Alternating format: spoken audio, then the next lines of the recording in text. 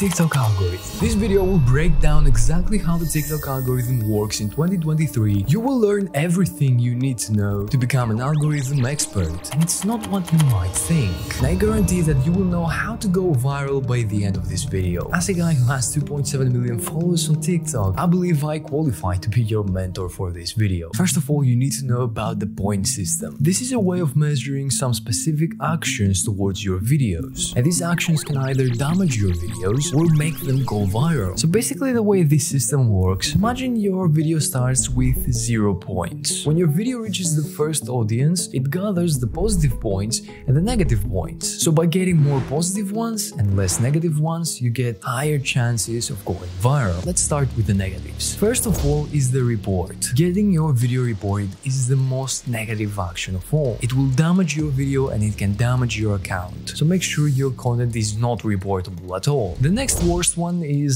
the not interested button. Getting people clicking on not interested on your videos shows the algorithm that they are not worthy of being watched. Or if you're lucky, it might stop promoting the video to just a specific audience. Next one, you might be surprised, but it is leaving the app right after they watch your video. And this can be a trap for many creators because many are promoting something outside the app. Maybe it is a YouTube channel or a product. It is a bad sign for the algorithm. That's because TikTok gets money by having people watching videos and watching ads. So if you're setting people away from the app, TikTok doesn't really like that and it will flag your video in some way. And the last one is the scroll. Someone watches just your hook or your intro and scrolls, then you know, that's that's bad. If you struggle at creating hooks and people just end up scrolling past your videos, I have a free resource for you. It contains over 80 hooks that I have used and have helped me go viral. I have also extra tips in there and how to use specific hooks and in which situations they are good and why they are good. Just go down the description below and click the link. And this way you will also join my email list where each Monday I will send you an email containing some free tips or maybe insights or a case study that I found. And this way we keep contact just in case something happens with YouTube, you know. So go in the description and click the link. And with that, let's jump to the positive ones. Let's go. The strongest positive action is watch time. Now there is a difference between percentage and seconds watched. If you make a short video, for example, a 30 second video, for that video you will want to get a high percentage of watch time, preferably over 100% or at least close to 100%. But if you make a video that is 1 minute long or more and you get 60 or 70% watch time, I've made a lot of long videos in the past on TikTok and I was going viral with millions of views and a watch time of around 70%. So this way you have some decisions to make when optimizing your content. Do you want to make shorter, fast-paced videos that make the viewer wanna watch it again? If you're good at that, then go ahead. But if you're good at storytelling and you can make a long-ass video and make people watch at least 60%, then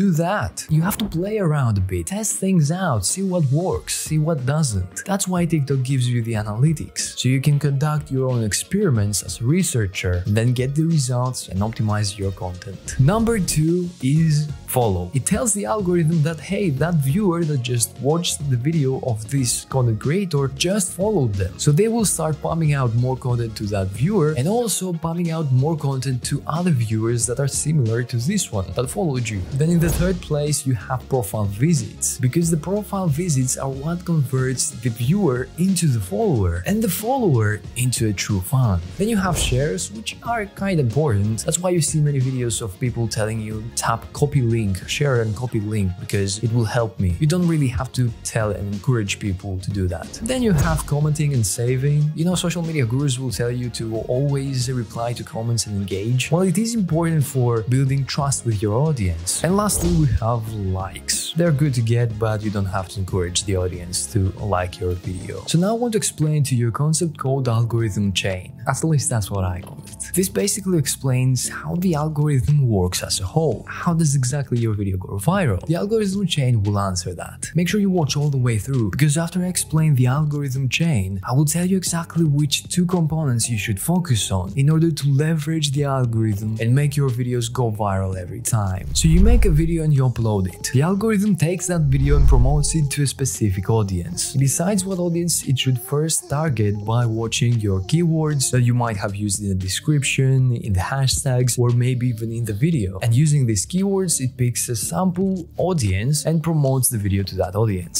So now this audience, this this first group of people interact with your video. Some might scroll past it, others might like it or share it, others might watch the whole thing maybe even twice, and others might randomly close the app. So after the algorithm sees how specific people react and interact with your video, it will break that group into two groups. Then the one group will be people who reacted positively and the other group people who reacted negatively. So after they see how the people who reacted positively again interact with your video, it will target even more people who are similar to those interests and target audience and all that. So the group of people becomes even larger and the algorithm is testing even more people. And for the people who reacted negatively, it will take that target group and promote it to the same type of audience again, but to a much smaller number of people. And it does that to make sure that this audience is not interested in your video and will stop promoting to this target audience after that. Then it will take that larger group of people that it promoted the video after seeing the positive results and this target audience will become even bigger. There it will test new audiences, it will test the same audiences and some might react negatively again. It will again break down into two, people who mostly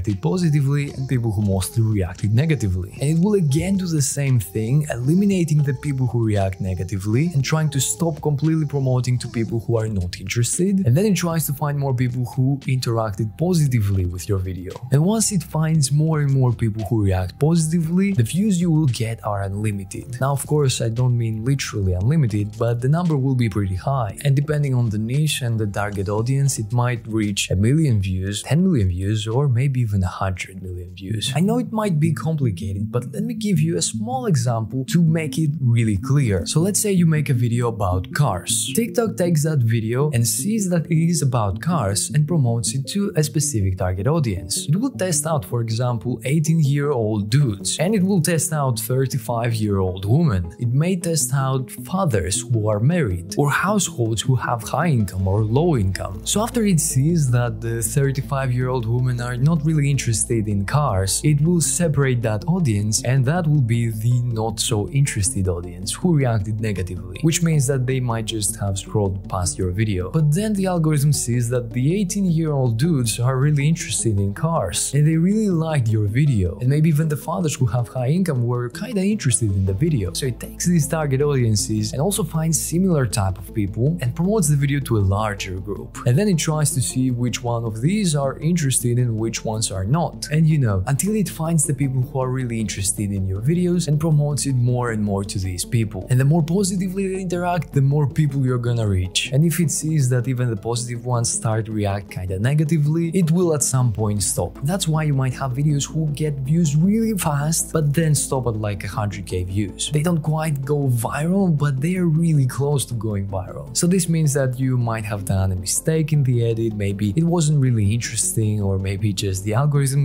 didn't manage to find the audience that would be the perfect for your video. That's why you have to check the analytics to see what you can change. But let me tell you the most important thing to take out of this one. What can you do with this information? I will tell you what matters the most and what you should focus on in order to leverage this algorithm chain. So the two things you should really focus on is watch time, which we have already covered pretty much, and secondly, profile visits. Profile visits is a very powerful tool. It is basically a weapon. It is what gives your page and your content depth, which will be a moneymaker. What you should avoid doing is creating just random videos here and there about random topics in your niche. So instead of creating videos without any purpose, except of course for helping people and entertaining them, but you should see a bit deeper than that. Make a video that will make your audience go to your pinned posts. So they have to go to your profile and check your pinned videos. After they check your pinned videos, they have to watch the playlist. So one video will be in a playlist and they will have to watch all the other videos. And maybe another pinned video will be in another playlist. So they have to watch all these videos as well. And after they watch the videos in the playlist, one of these videos will lead them to another video that might be a reply to a comment. And that video naturally will lead to another video. Now my friends, you have created true fan. A true fan that will watch all these videos, will follow you, and then will go to your product page and buy your services and products. This will be the kind of viewer that watches all your videos, that reads your newsletter, and when you drop a new product, a new service, they will be the first one to get it. By building depth with your videos and content, you can grow an audience and true fans and monetize your content effectively. This is the secret. So now that you've watched this video, make sure to watch this video next, where you will learn everything you need to know about the TikTok shadow ban and what to do in case you get one. So I will see you over there. Bye bye.